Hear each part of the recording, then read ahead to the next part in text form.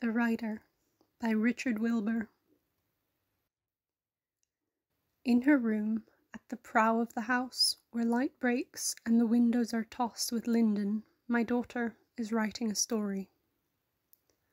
I pause in the stairwell, hearing from her shut door a commotion of typewriter keys, like a chain hauled over a gunwale. Young as she is, the stuff of her life is a great cargo, and some of it heavy. I wish her a lucky passage. But now it is she who pauses, as if to reject my thought and its easy figure. A stillness greatens, in which the whole house seems to be thinking, and then she's at it again with a bunched clamour of strokes, and again is silent.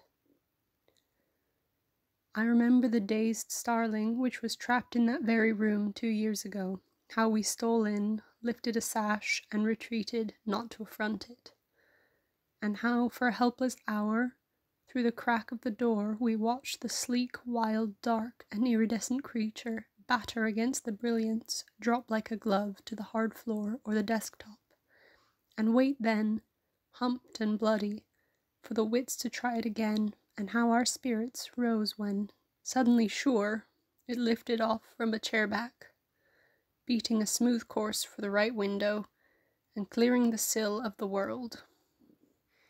It is always a matter, my darling, of life or death, as I had forgotten. I wish what I wished you before, but harder.